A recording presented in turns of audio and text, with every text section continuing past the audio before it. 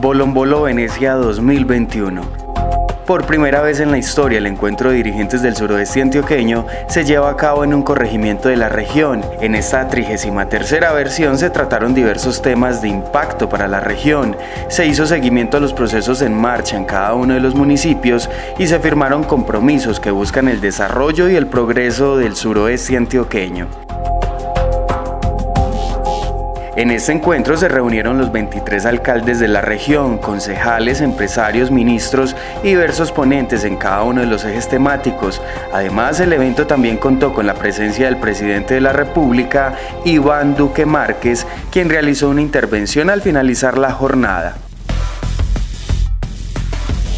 Ejes temáticos, infraestructura vial.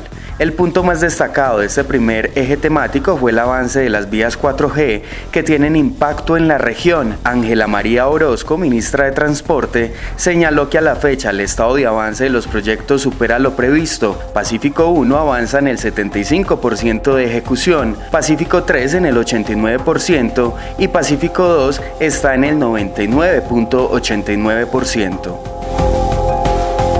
Turismo. La ponencia de este eje temático, realizada por el viceministro de Turismo, Ricardo Galindo, se centró en la reactivación sostenible del sector turístico, teniendo en cuenta las nuevas reglas por las que se modifica la Ley de Turismo 2068 con cinco aspectos clave. Sostenibilidad, calidad, formación, formalización y reactivación. Se busca una reactivación a corto plazo que sea sostenible. Desde la gobernación de Antioquia se socializó el proyecto Antioquia es Mágica que impacta a varios municipios del suroeste y que abarca aspectos como las potencialidades gastronómicas de los territorios, los talentos mágicos, como es el caso de la calle de los murales en Venecia.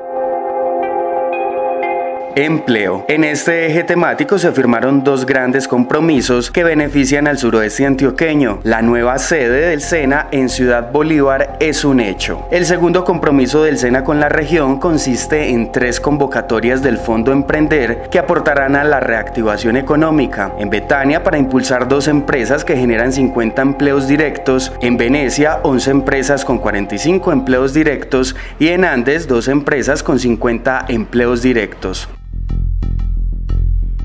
Fortalecimiento agrícola. El Ministerio de Agricultura abordó diversos temas que impactan directamente al suroeste y a sus agricultores. El viceministro habló de las políticas que buscan reactivar e impulsar la economía en este sector, fundamentadas en cinco ítems: ordenamiento de la producción, extensión agropecuaria, financiamiento, tecnología e innovación, inclusión y bienes públicos. Al finalizar las ponencias de los ejes temáticos y tras la llegada del presidente Iván Duque, se realizaron intervenciones y firmas de compromisos. Hernán Saldarriaga, director general del encuentro de dirigentes, socializó las conclusiones de las temáticas abordadas y dio la bienvenida al presidente. Luis Fernando Suárez Vélez, gobernador encargado de Antioquia, aprovechó el momento para compartir los avances de las obras y proyectos que se realizan desde el gobierno departamental en el suroeste antioqueño. De igual manera, el gobernador de Caldas, Luis Carlos Velázquez Cardona, se refirió a la Alianza 50 Pueblos Paisas, donde donde destacó la importancia de resignificar la hermandad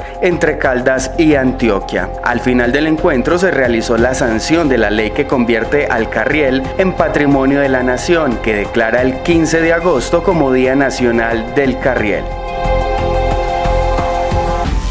Somos la Corporación Encuentro de Dirigentes del Suroeste Antioqueño y te acercamos a los hechos que han sucedido en nuestra región.